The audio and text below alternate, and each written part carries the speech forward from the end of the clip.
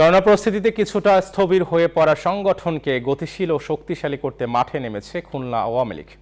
এরই মধ্যে নগর জেলা কমিটির মেয়াদ উত্তীর্ণ ইউনিটের সম্মেলনের দিনক্ষণ চূড়ান্ত করা হয়েছে। সেই সাথে ওয়ার্ড পর্যায়ের ধারাবাহিক কর্মী সভার মধ্য দিয়ে রাজনীতির মাঠে সক্রিয় থাকার পরিকল্পনা নিয়েছে দলটি।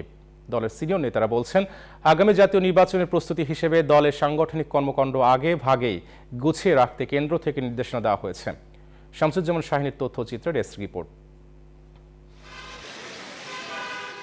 জাতীয় নির্বাচনকে সামনে রেখে দলের প্রস্তুতির অংশ হিসেবে জেলা সহ বিভিন্ন পর্যায়ের সম্মেলন করার সিদ্ধান্ত নিয়েছে আওয়ামী লীগ। গত আট ফেব্রুয়ারি দলের সভাপতি মণ্ডলীর সভায় তিন মাসের মধ্যে সম্মেলন শেষ করার নির্দেশনাও দেওয়া হয়েছে। খুলনা জেলার নয়টি উপজেলা ও দুইটি পৌরসভায় আওয়ামী লীগের অধিকাংশ কমিটি মেয়াদোত্তীর্ণ। নানা কারণে নেতাকর্মীরা অনেকেই নিষ্ক্রিয়।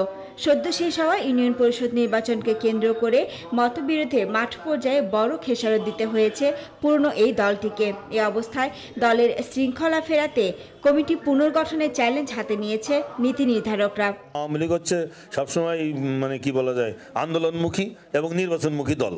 তা আমরা আন্দোলনে অভ্যস্ত আন্দোলনে অভিজ্ঞতা আছে এমন লোকদেরকেই আমরা সামনে নিয়ে আসব। মূল দলের পাশাপাশি অঙ্গ সংগঠনগুলোকে আরও গতিশীল করার কথা বলেছেন মহানগর আওয়ামী লীগের এই নেতা।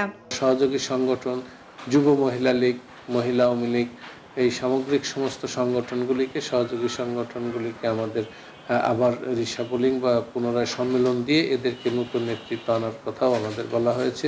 আর মাঠ পর্যায়ের অবস্থান সুদৃঢ় করতে ওয়ার্ড পর্যায়ে ধারাবাহিক কর্মী সভা আয়োজনের কথা জানালেন তৃণমূলের নির্ভরযোগ্য এই নেতা। এখানে প্রত্যেকটা ওয়ার্ডে আমরা কর্মী সভা করব। প্রত্যেকটা ওয়ার্ডে ছত্রিশটা ওয়ার্ডই ছত্রিশটা কর্মী সভা করব। দরকার আমাদের মাঠ পর্যায়ের অবস্থানটা আমাদের এখন নূতন করিয়া ঝালাই করতে হবে। সাংগঠনিক কর্মকাণ্ডের মধ্য দিয়ে করোনা পরিস্থিতিতে কিছুটা স্থবির হয়ে পড়া খুলনা আওয়ামী লীগ আরও গতিশীল, শক্তিশালী হবে, এমনটাই প্রত্যাশা তৃণমূলের নেতাকর্মীদের।